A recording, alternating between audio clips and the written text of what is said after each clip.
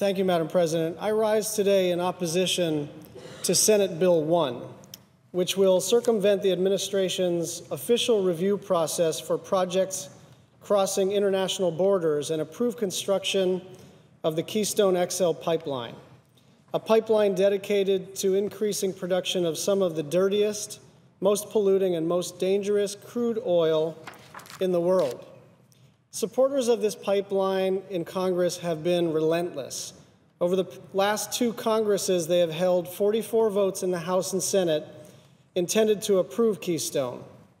On Tuesday, the very first bill that the new Republican majority introduced, traditionally reserved for a party's highest legislative priority, was Keystone. Think about this. Here we stand in what people still call the world's greatest deliberative body, and the first bill that we are taking up is not infrastructure generally, not national energy policy, and not even national laws as they relate to our pipeline infrastructure.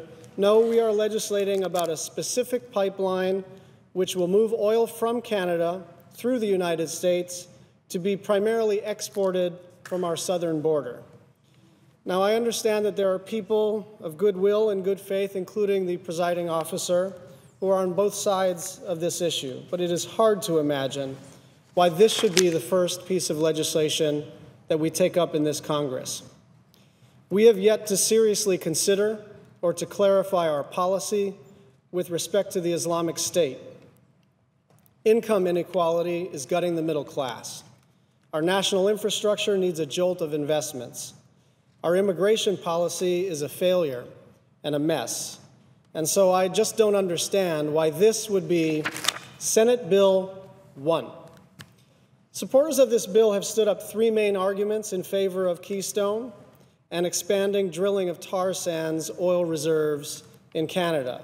One, they say it will increase energy security. Two, they say it will lower oil and gas prices. And third, they say it's a jobs bill. Let's examine these claims because, however tenuous they were, they have been undermined further by the facts over the last couple of years. First, the United States has never, during the modern age of global energy trade, been more energy secure. We import far less oil from unstable regimes and unfriendly countries than we have in decades. And we are continuing to build massive amounts of ever cheaper, homegrown, clean energy like wind and solar, even as we use our energy more efficiently. The U.S. will add nearly 10 gigawatts of wind and solar capacity in the next year, not including hydro, the U.S. has over 85,000 megawatts of renewable energy capacity and continues to build on that number year over year. Prices for solar have dropped 80% since 2008, and prices for wind power, which are already competitive with fossil fuels, have dropped 30% since 2008. And these trends are creating jobs right here at home. For example, the wind industry has over 500 manufacturing facilities across 44 states that are responsible for making wind turbines with over 66% domestic content. Second, the recent collapse of crude oil and gasoline prices demonstrate two things. Now, in my home state of Hawaii, energy prices remain far too high. But on the mainland, oil and gas prices are currently very low. The idea that Keystone would make a significant difference was never based in reality, but now it's just obvious. We have low prices, and the project hasn't even started. Gasoline is now $2.21 a gallon. Crude oil prices have slipped below $50 a barrel. The last time the gasoline prices were this low was in the aftermath of the financial crisis.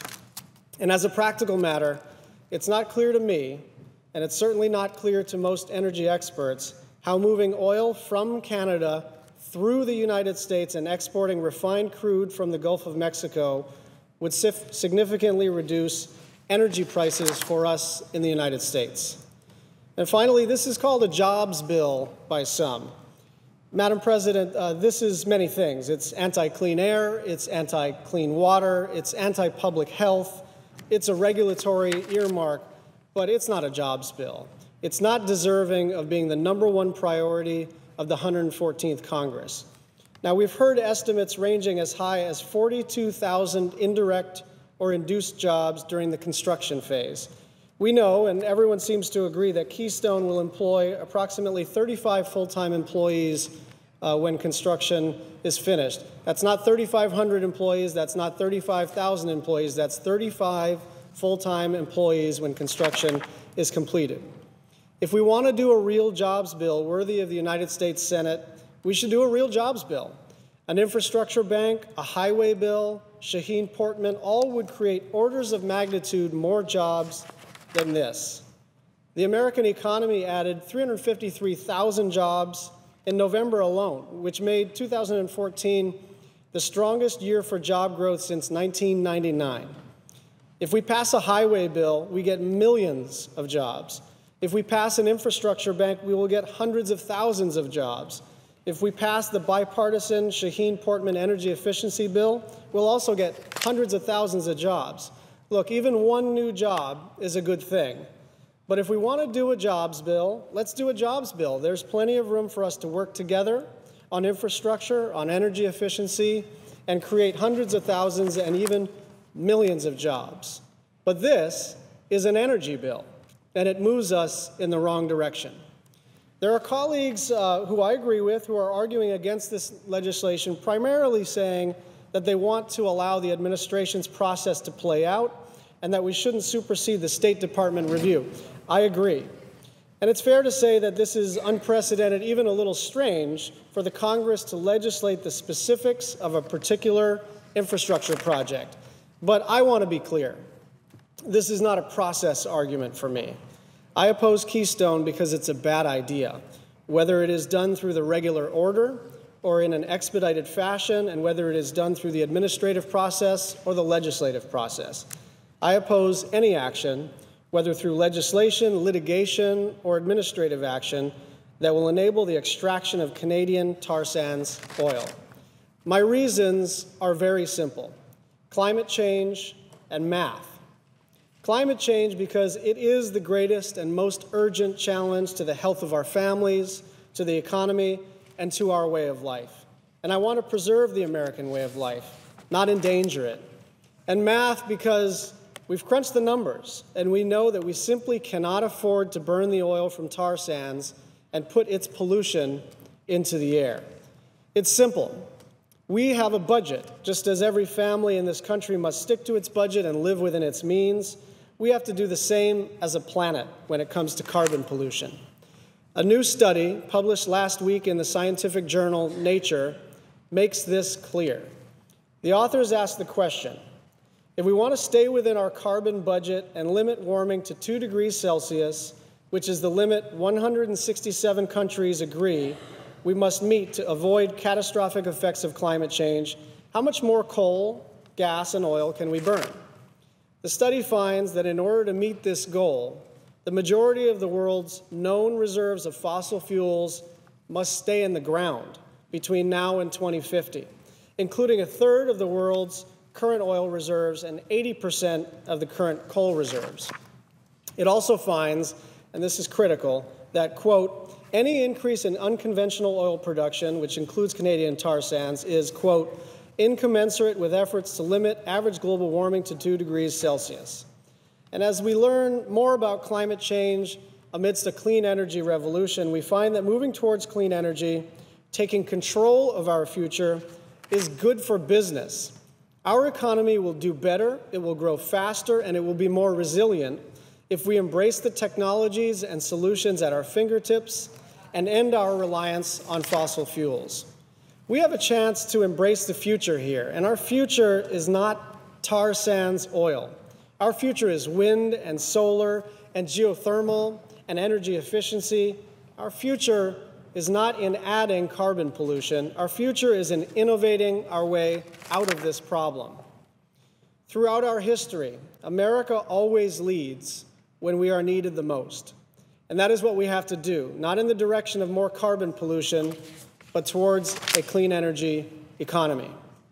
A report by New Climate Economy, a group chaired by former Mexican President Felipe Calderon and including Bank of America Chairman Chad Holliday, among others, marshals quantitative evidence to show that action on climate change is a requirement for future global economic growth. In other words, those who warn about the EPA regulations or prices on carbon killing jobs have it exactly backwards. The truth is that in order to avoid major disruptions to our economy, we've got to reduce carbon pollution and work with other countries like Canada to ensure that they do the same. Madam President, I'm looking forward to the open amendment process on this bill that the Majority Leader has promised. It will be an opportunity for the American public to see where members of the Senate stand on the facts of climate change. Madam President, anyone who looks at the facts and does the math ought to oppose this bill and oppose construction of the Keystone XL pipeline. For me, and for many Americans, a vote against this bill is a vote to preserve and protect the air that we breathe and the water that we drink. It's a vote to ensure that we continue to reduce carbon pollution and fight climate change. It's a vote to leave our children a healthy world. I urge my colleagues to oppose cloture on the motion to proceed, and I yield the floor.